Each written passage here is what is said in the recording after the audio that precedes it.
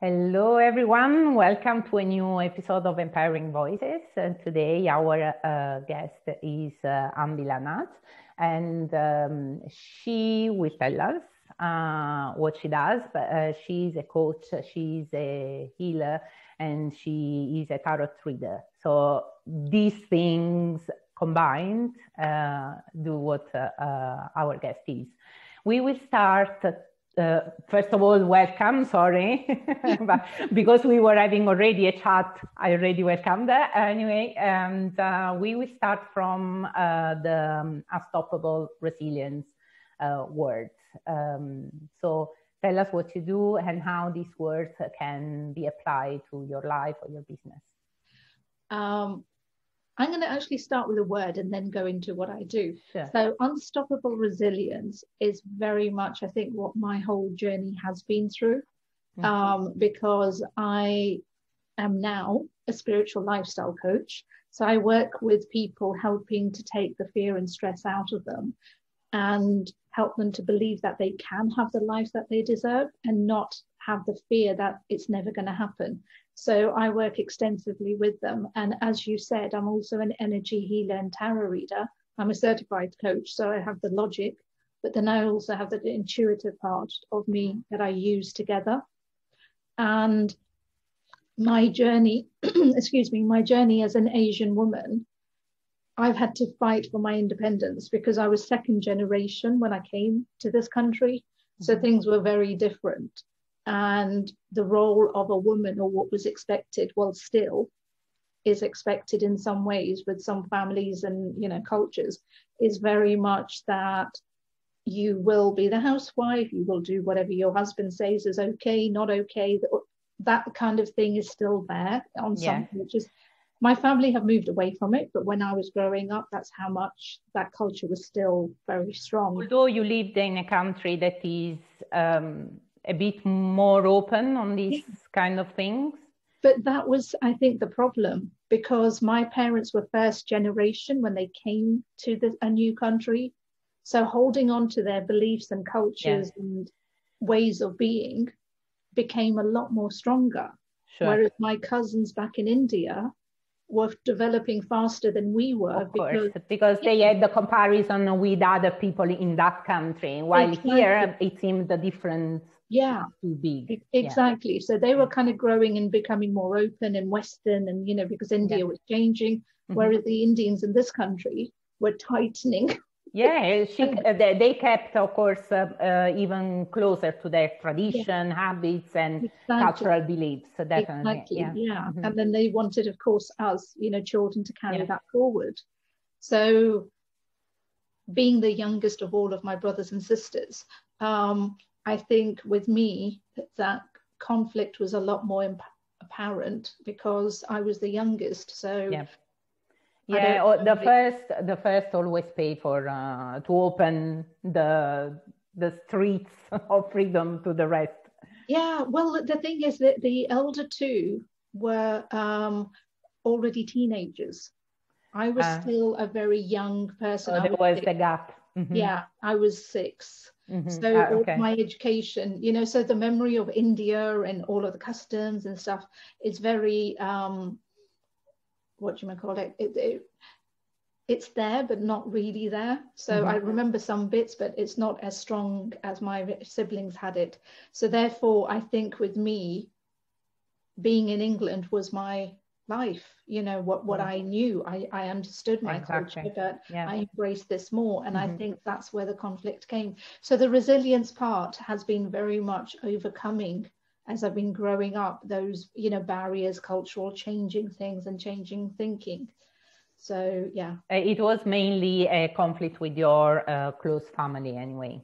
Well, yes, I would say not so much the family itself. I would probably say the beliefs. Yeah, Yeah. of the community. Exactly. Yeah, Yeah. And yeah. the family because of the, you know, they were part of that community. But of course, you felt English. I mean, you felt integrated in the English culture. culture I felt integrated in both cultures. Mhm. I, re- I respect. I don't view, and I think I've always had that, all of my friends from a very young age have always been international. They've mm-hmm. not been of one color or one creed or, you know, I'm only staying with the Indians or the English or yeah. whatever. Got multiracial. Yeah. I mm-hmm. always have done.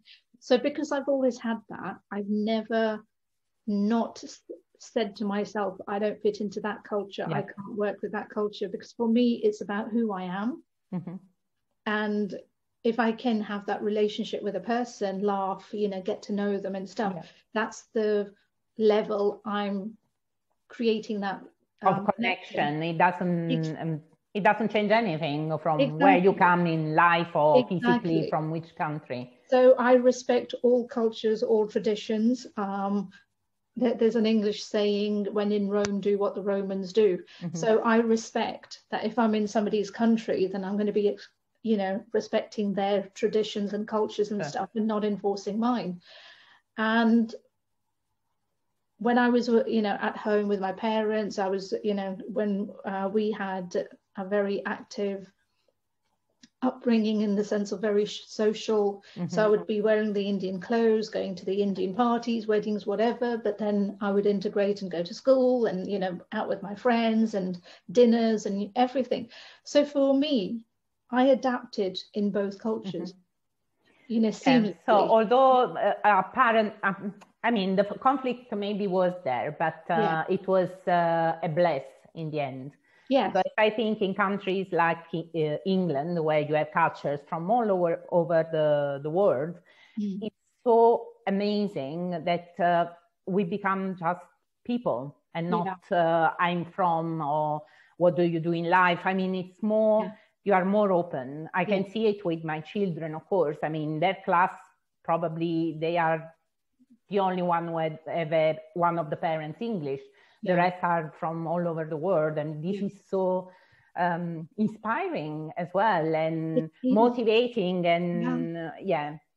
But it's it's also remembering that the culture and life that my parents' generation came from, travel wasn't such a big thing. Mm-hmm. You know, going on an aeroplane or something was very expensive. So you stuck sure. to local. You mm-hmm. know, you stuck to the, the, areas you knew, the country you knew. You went yeah. on holiday, you went in your own country. Mm-hmm. You didn't think I'm going to get on a plane and, you know, go. I grew up and I even had a job where I was traveling the world. Mm-hmm. That was unheard of, you know, getting on a plane and that was my train, you know, commute yeah. on a weekly basis and then back on a Friday and stuff. Oh, so wow. life has changed so much and we have the world has become very small. Yeah. So, you know, yes, you're in London, but I've spoken to people in Australia, other parts sure. of the world, yeah. and we're so interconnected now. Yeah.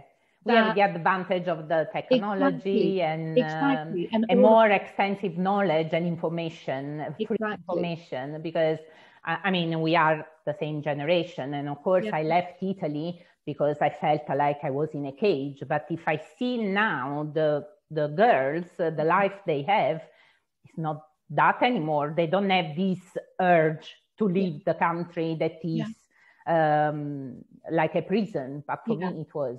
Yes. Uh, so things changed and changed very fast for women uh, as well.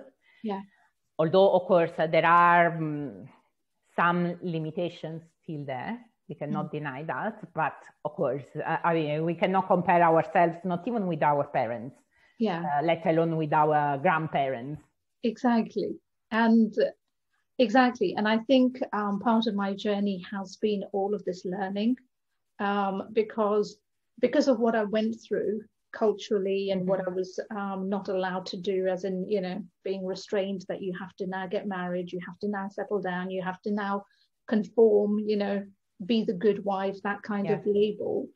Because I rebelled from that. Not that I didn't want it, I wanted it my way, not yeah.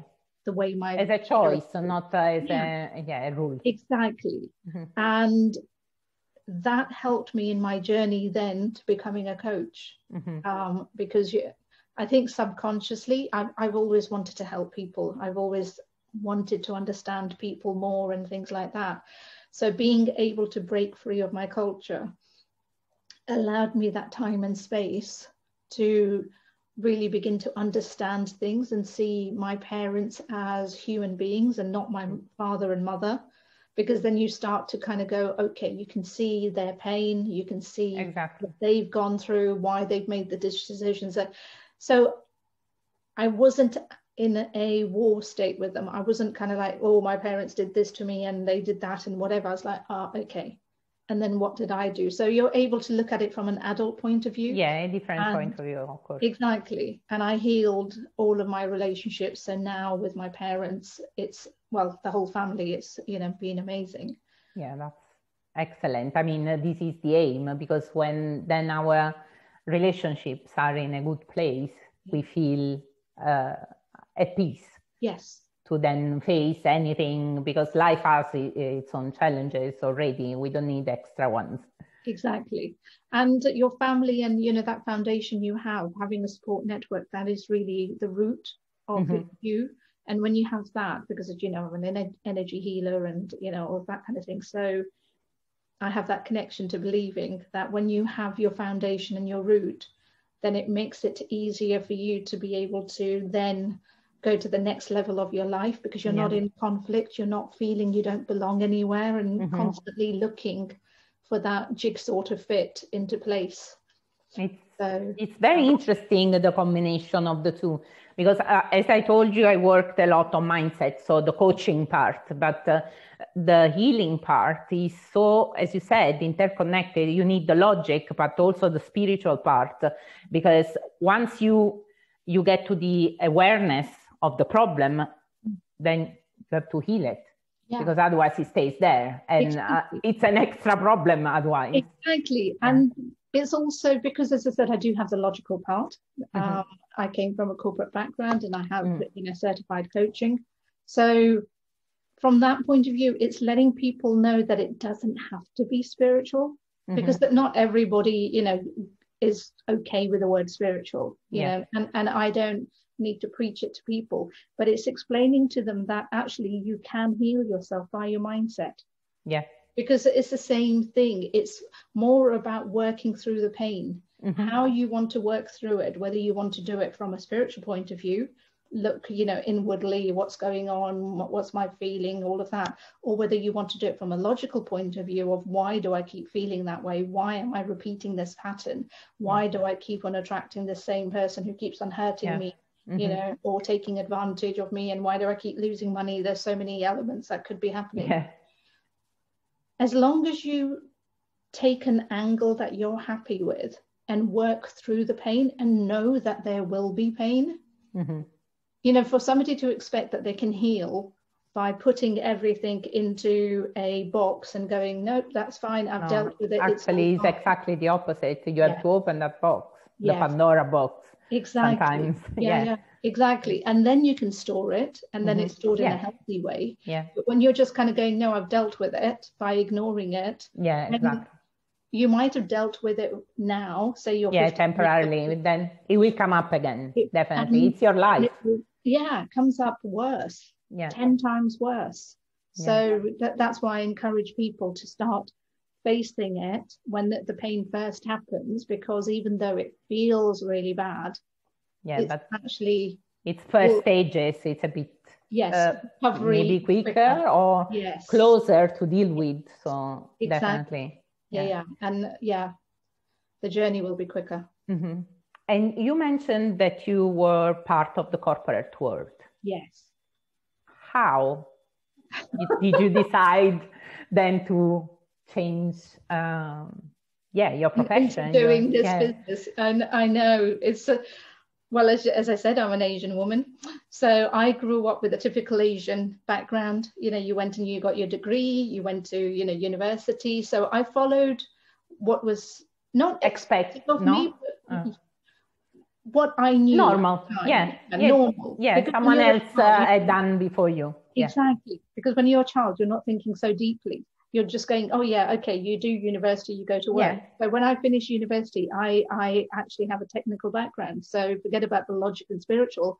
I'm very technical. I, mm-hmm. I have a um, degree in computing. Oh, okay. So when I left university, I went into um, working, mm-hmm. you know, the corporate world for jobs and stuff. And my first job, I worked for a um, telecoms company, worked into middle management. I was in my mid 20s. And then I went on to um, the next level corporate job, which was management consulting. And then I was traveling the world. Mm-hmm. And, but from the age of 19, I always knew I wanted my own business. I just oh. didn't know when or what. Or what, yeah. But I always have, since I was ever so high, um, loved wanting to, under, not wanting to, but trying to understand people, mm-hmm. body language, um, how people think, you know, what they do, and all of that kind of thing. I, have always been intrigued about human nature and everything. So when I was approaching uh, my 30s, I decided um, that this was probably a good time to because a corporate job was getting too much. I, yeah. I was, you know, priorities were changing in life and things like that. So I thought, okay, this is the time to do it now. And mm-hmm. that's when I decided. And I had just um, started learning my coaching, started, was training in my. Um, By then, uh, you knew what? Yes. Well, the funny thing is, um, I I started coaching 2001 mm-hmm. was when I started learning. Yeah. Prior to that, I was looking at what can I do because in this country coaching didn't exist. Yeah, exactly. It's a quite a recent acquisition. It exactly. was more um, a North American. Um, yeah, um, exactly. Very yeah. much. Mm-hmm. And just as I was leaving the corporate world, I started hearing that mm-hmm. coaches mm-hmm. were coming into the corporate world and going ah, okay. up on team building. And I thought, mm-hmm. God, I've spent 10 years in the corporate world. I don't want to be there. Yeah. So I thought, no, I'm not going to be that kind of coach. I want to do personal coaching. Mm-hmm. And I struggled because to get because it was too new. Yes. Yeah. Once I qualified, I struggled because people viewed me and thought she's going to put me into a mental home. She's going to think I need, you know, counseling or mm. something's mm. wrong with my life. And so I actually, for 10 years after that, I had. There was a bit of resistance from from yeah, other, from exactly. the people. Yeah. So I went into interior design. I mm-hmm. had an interior design business, mm-hmm. which was doing really well. But then I realized I was wasting my time because I could do it, but I didn't want to do it. Okay. I thought, you know, coaching is what you want to do. Why are you wasting time? Yeah. Um, you feel a sort of a call. I mean, you cannot ignore it. No. You can for a while, so well, you deviate and you start another business, exactly. and then maybe another, and then another, but it's still there. Yes, and that's exactly what it was because I went on to event management. And but when I did come back to coaching, it was probably a better time mm-hmm. because one, it was known then. Yeah. I came back into coaching, I think 2014. Mm-hmm. Um, you know. Yeah, quite a, yeah. a, few years. Well, exactly. almost 15 years uh, later. Yeah. Exactly. And um, and everything had become online. So mm-hmm. Zoom wasn't around, but Skype was. Yeah. So you were able to all of a sudden get start getting international clients, mm-hmm. whereas before it was all local and of course, yeah, in an area uh, that didn't know what coaching was on top. And Facebook yeah. was happening, and Twitter, yeah. and you know all of these advances in technology, which started making it so much easier. Of course. So, um, th- so that's how I went. Okay, now's the right time to commit, and that's when I started focusing so you left your interior design um, yeah.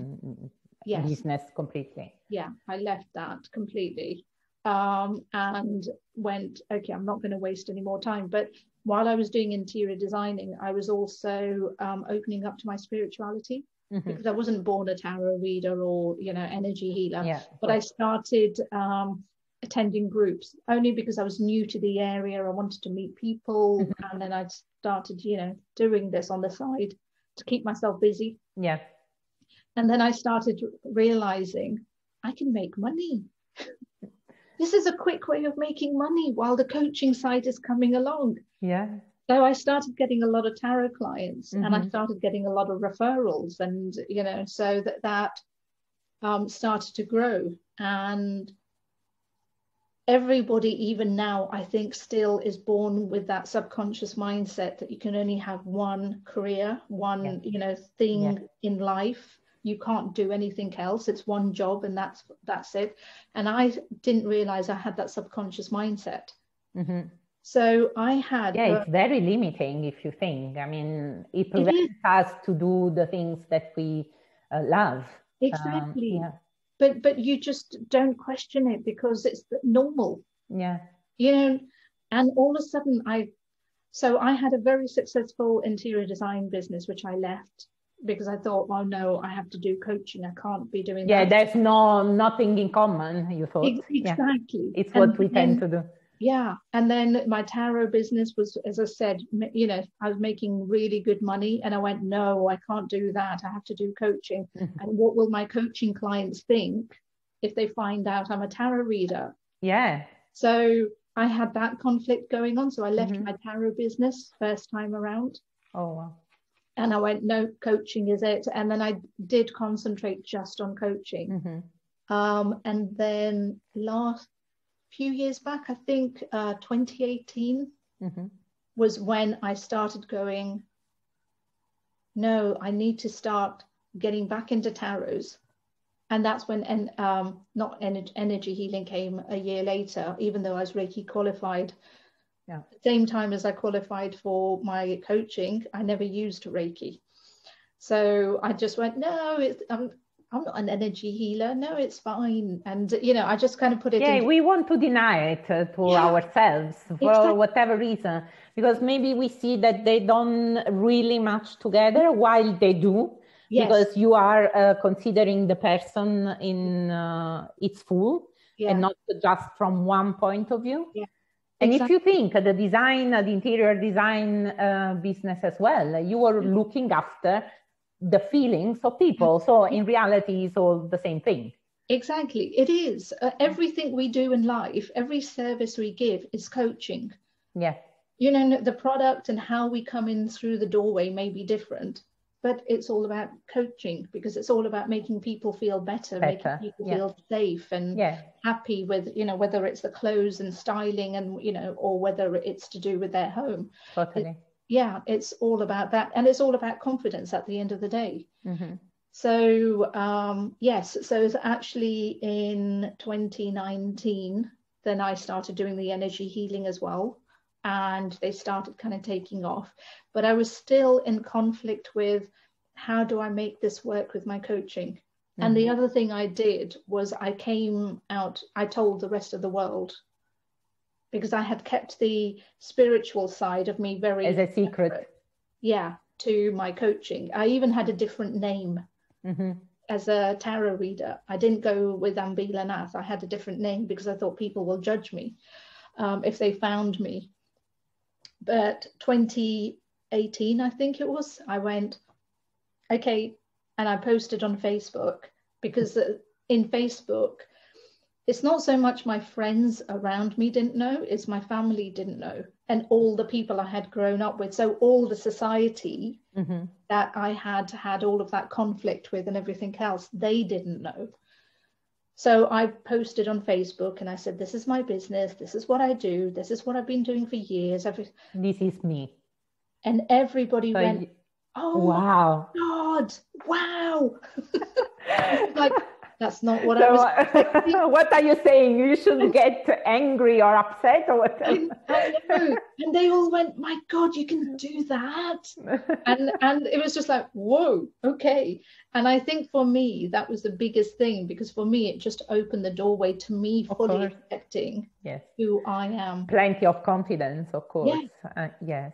In, exactly but it but it also gave me permission to Mhm. then go i can use these in my coaching and then um, i work i recently actually just worked with somebody and she showed me a way that i could make all of it work seamlessly Mhm. and and since then it's just been amazing with regards to you know the last 18 months so the lockdown for me has been the At best work, time for my the- business Yeah. yeah Yeah. That's amazing. And I, I, I bet you felt super light afterwards.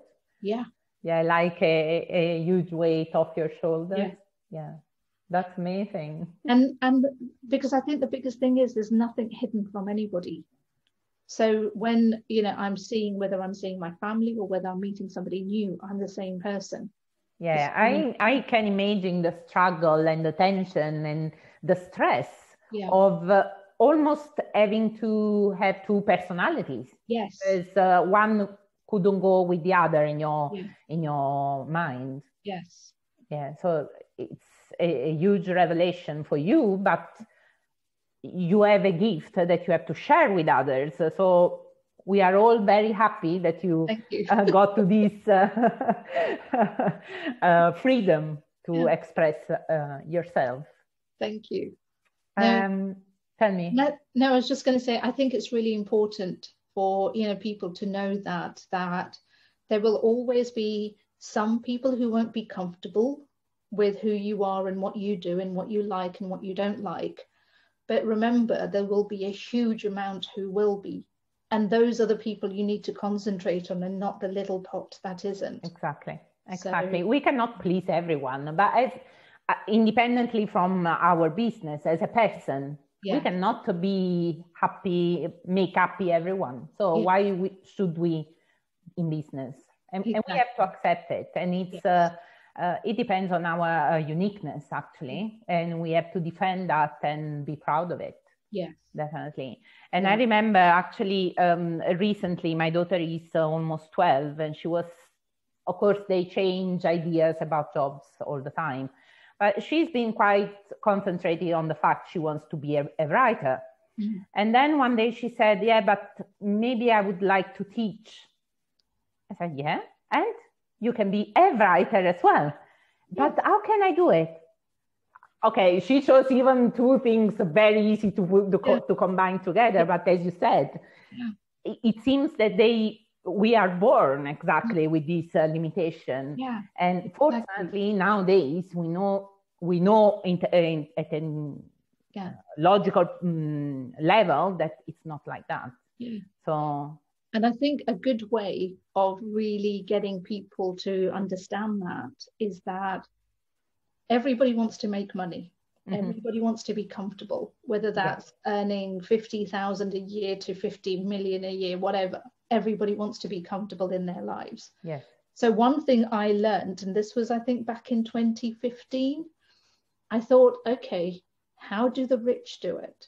mhm, And then you start looking at the rich and you're going, they're not keeping to one thing. exactly. They're Mm. doing, you know, I mean, take David Beckham. Everybody knows David Beckham. Yes, he's a footballer, but Yes. then he also does advertising endorsements. He also does, you know, so many other businesses. And and when you start going, they have lots of mul- multiple incomes. Why am I stopping myself by going, I can only do one thing? yeah, And I think for me, when I had that realization, that's what started opening up all the doors to the point that I even say to my clients, if they say, no, I'll just do this, and I'm, and I'm Oh. tapping them over the hand, going, no, no, You're have doing to do everything.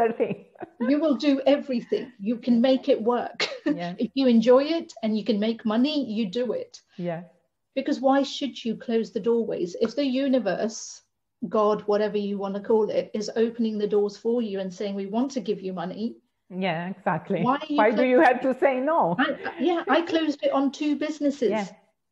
It seems counter uh, counterintuitive, but Yeah. it happens, unfortunately. Exactly. I know, and but you learn the lesson very quickly. You're like, yeah. my God. so yeah, So I always ask my guests if there's a word specifically or a quote that can be like a bit uh, a guidance or uh, the base for your life and business.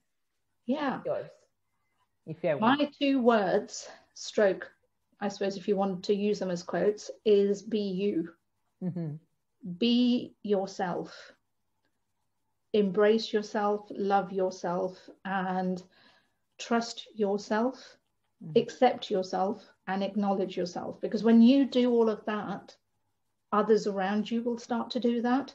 But when you're not the one doing it, Yeah. Then others won't do it either. So, whatever is going on inside of you is being reflected into your life. So, just be yourself, be happy with whatever you're doing, whoever you are, Mhm. and the world around you will start to change. I totally agree. I really, I really like this one. Thank, Thank you. you. very much. So I just want to remind everyone that um, um, um, uh, Ambila contacts will be in the post in uh, my bio and on uh, YouTube and my webpage. So we, uh, you can uh, reach out um, in many ways. And I thank you for being with us and for this uh, really inspiring conversation. Um, I say goodbye and uh, see you next week.